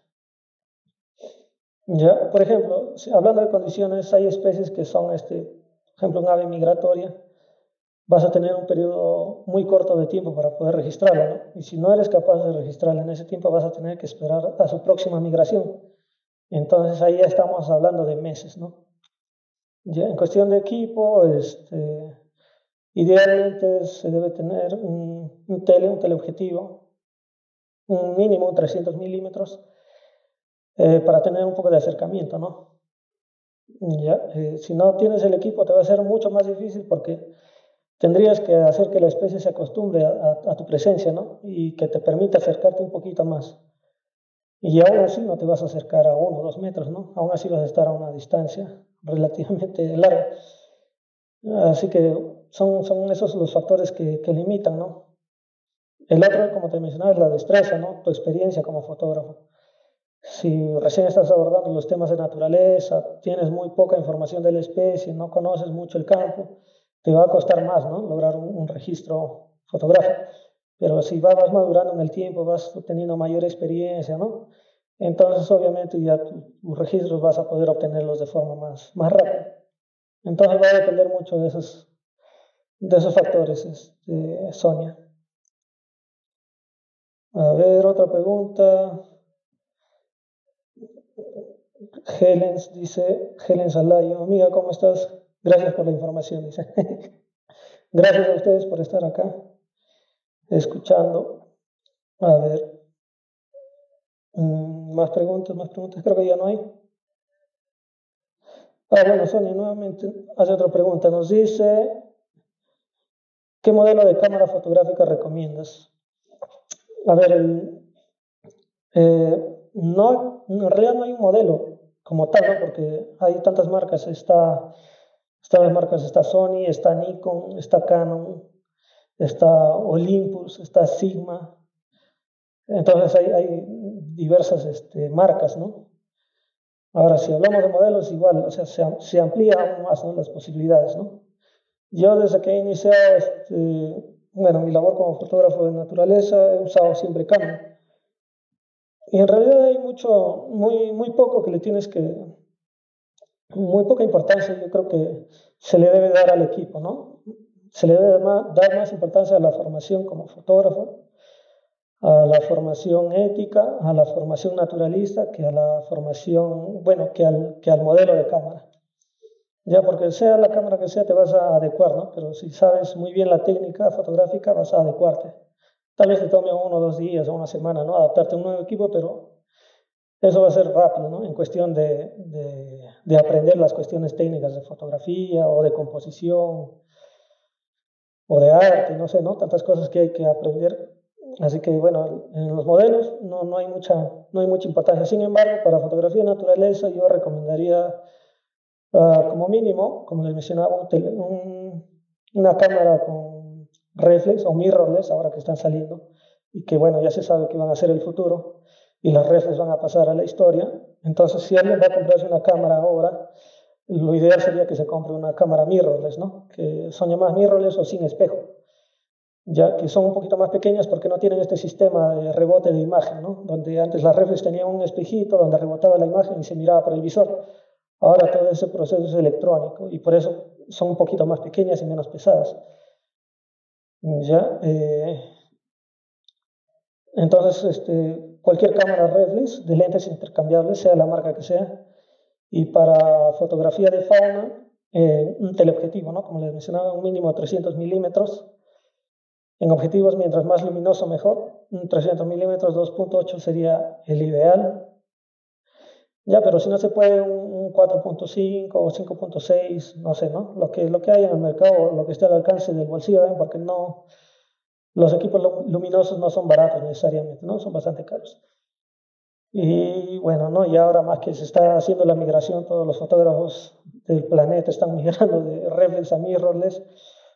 Se van a abaratar los equipos este, reflex, entre ellos los objetivos reflex también van a abaratar sus precios, a sabiendas de que son equipos que no van a tener actualizaciones y van a ir desfasándose en el mercado ¿no? con los años. De acá a unos 10, 8 años, 5 años ya no va a haber reflex en el mercado. ¿no? todo lo que va a haber es de segunda y no van a tener este, actualizaciones. Entonces, como les mencionaba, es mejor ya irse por equipos mirrorless y, lentes dedicados ya también para mirrorless. Canon va a sacar este, ahora la última cámara que va a sacar Canon es la EOS, la R5, R5 y un objetivo para naturaleza que todos están esperando, un 100-500. Ya, también dedicado para mirrorless, este, con, con estabilización tanto en equipo como en el objetivo y bueno, eso podría ser este, para empezar, ¿no? Para empezar en fotografía de naturaleza. Eh, bueno, creo que Sonia ya te respondí con eso algunas preguntas. A ver, hola Natalie, ¿cómo estás? A ver, me dice, ¿hay fondos concursables para fotografía de naturaleza? La verdad que no. los fondos naturales, bueno, los fondos para concursos de fotografía de naturaleza, uno los debe crear. Mm, este, por ejemplo, formalmente o, inicialmente o tradicionalmente los que creaban este, concursos de fotografía de naturaleza eran justamente estas asociaciones, ¿no? Por ejemplo, el White Wonders of Europe, este, no, perdón, el, ¿cómo se llama? El Wildlife. El Wildlife Photography este, es un concurso que lo creó el, el Museo de Historia Natural, ¿no? Entonces, este, son las asociaciones las que crean, porque las asociaciones ya tienen de alguna manera, pueden gestionar fondos para, para crear estos concursos, ¿no? Porque un concurso, si bien es cierto, tiene más acogida cuando hay, bueno, ciertos premios. Entonces convoca mayor población este, concursal. Y las, las, asociaciones por lo general se agendan, ¿no? Y lo que hay algunas asociaciones actualmente, digamos, actualmente todos los concursos de naturaleza de talla internacional cobran una cuota de entrada. Hace unos 10 años no era así. ¿ya? La asociación se agendaba, se buscaba la forma de, de solventarse ¿no? los gastos, pero ahora no. Ahora este, piden una cuota de entrada, por ejemplo, el, el, promedio es 20 dólares para que puedas ingresar unas 3 o 5 imágenes, depende del concurso. Y imagínense ¿no? que hay 150 mil fotógrafos que participan. Por ejemplo, eh, ya imagínense, multiplíquenlo por 20 euros y, y saquen su cuenta cuánto sale. Ya con esos motos ya se puede gestionar muchas cosas entre ellos los premios, entre ellos la difusión, que no es barato tampoco, ¿no? Hacer una publicación, libros, merchandising, no es barato. Y bueno, todos los fondos sirven para eso y otra cantidad se destina a, actividades justamente de conservación, ¿no? Que promueven la conservación, investigaciones y todo, ¿no? Así que, bueno, no es que las asociaciones se quedan con los fondos tampoco. Eh, hola, Natalia, otra vez me dices, se deben editar las fotografías bueno, hay que hacer una diferencia aquí. Creo que ese es un tema para, para otro día. es que es un poquito amplio. A ver, les voy a comentar. Creo que está por aquí. Ya. Aquí, ¿no? Cuando estaba hablando del requerimiento de las imágenes para que funcionen para fotografía de naturaleza y conservación, hacía hincapié en este punto, ¿no? Imágenes lo más fieles a la realidad sin procesos de edición, manipulación y fotomontajes. Como les comentaba, ¿por qué? Porque cuando tú estás, este, editas mucho una imagen, la falseas, falseas la realidad, entonces lo que sucede es que el espectador no llega a conectarse porque es una imagen irreal. Un espectador no se va a comprometer con la ficción, un espectador se va a comprometer con un hecho real. Y si, y si él va a tener un cambio va a ser porque está viendo una imagen que le habla cosas reales. Entonces las imágenes que se tomen por lo general para fotografía naturales y más para fotografía de conservación, no deben tener procesos de manipulación, ¿ya? así que esos fotomontajes, ediciones o sobreedición, manipulación, ya creo que esos no, no entrarían para este tema. ¿no? Si bien es cierto, el fotógrafo es libre de hacer porque es su arte, desde que la fotografía fue reconocida como arte, tiene el derecho de hacer absolutamente lo que quiera con su imagen, pero si va a usarla en estos temas de naturaleza y conservación, bueno, lo ético es que no lo haga. Pues. Y si lo hace, debe, debe de decirlo, ¿no? Debe comentarlo. Bueno, eso sería, Natalie, respecto a tu pregunta. lo mejor es no hacerlo. Para no entrar en confusiones, este, una fotografía tiene un proceso de revelado, ¿no? porque nosotros tomamos en RAW, que el RAW es como un negativo, un negativo digital. ¿Ya? Entonces, este, este RAW necesitamos pasarlo a, positivo, por decirlo así, para, para, para poder este, visualizar la imagen, ¿no? para poder llevarla a un TIFF, a un JPG. Entonces, este, este proceso de revelar sí que lleva, se llaman ajustes, ese es el término adecuado. Edición es la manipulación de la imagen por zonas. Y a manipularla por zonas, meterle cielo por acá, quitarle agua por allá, ponerle una roca en un costadito, agregarle verde por un lado, no sé, eso es edición, ¿no? Edición por zonas. En cambio, ajustes, el ajuste se realiza a toda la imagen, ¿no? Por ejemplo, este contraste, aplicas a toda la imagen. Eh, te pasaste de la exposición, le bajas medio paso, eso se aplica a toda la imagen, ¿no? Quieres subirle un pelín de saturación para realizar el color, le subes, eso se, se da toda la imagen, ¿no? Son procesos que, que se lleven toda la imagen y no por partes. Y como les digo, no, no está prohibido que hagan lo que deseen con la imagen, simplemente que si es para estos temas, lo preferible es que no lo hagan y si lo hacen, que lo mencionen. Eh, sí, Natalia, a ver lo que me comentas. Fotógrafos que editan al final ganan los concursos. Bueno, hay que ver la categoría de los concursos. para empezar, por eso yo, como les comentaba, este, en temas de fotografía, de naturaleza y conservación, hay concursos que son referentes. ¿no? El, el, uno de ellos, como que sería el equivalente al Oscar de la fotografía, es el Wildlife Photographer of the Year, ¿no? fotógrafo del año, ya organizado por el Museo de Historia Natural. Todo concurso tiene sus bases, ¿no? sus bases concursables. Y cuando ingresas a las bases, todos los concursos de talla mundial, de talla internacional, que tengan que ver con fotografía, naturaleza y que tengan dentro incluso categorías de conservación, te van a decir esto, ¿no? Que no está, que está prohibido manipular las imágenes, que está prohibido la edición, que solo está permitido ajustes leves. Incluso el recorte está prohibido, no puedes recortar una imagen, ¿no? ¿Ya? Y si está permitido es solo un 10% de la imagen, no más. ¿Ya? Así que ahí es donde, y a mí me parece muy bien porque empujan a que, a que el fotógrafo desarrolle la maestría de su trabajo en el campo, ¿no? De tal manera que el fotógrafo tenga la imagen lo más terminada posible al, al, cerrar el obturador. Y no como haces, ¿no? Como me comentas que algunos van a casa y se pasan unas dos horas en el ordenador editando en Photoshop para lograr lo que no han sabido hacer en campo. Entonces, eso denota un poquito la formación del fotógrafo, ¿no? No está mal ni está bien, de repente algunos están formando, es un comienzo y es bueno que sepan que hay procesos fotográficos para resolver estos problemas, ¿no? que se pueden desarrollar en campo, en la misma cámara, trabajar sobre la luz, ¿ya? Eso es lo que un fotógrafo trabaja sobre la luz y no sobre los píxeles, ¿no? En cambio, alguien que, está más orientado al, fotomontaje, no sé, o a la fotoilustración, trabajará sobre los píxeles, ¿no? Y que bueno, esa será su forma de trabajo, ¿no? En, en fin, pero debe informarlo.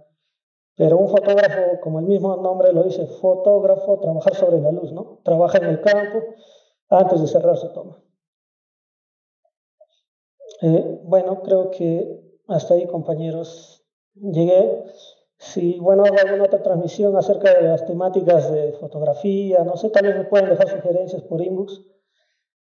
Y y ahí, podría, ser, podría quedar una transmisión ¿no? para otro día, ya para temas más técnicos de, de, fotografía de naturaleza, todo lo que es fotografía de naturaleza, que es lo que, bueno, un poquito más, un poco más entiendo, ¿no? Así que muchas gracias a todos los que me han acompañado hasta, hasta ahora y, y gracias. Hasta la próxima.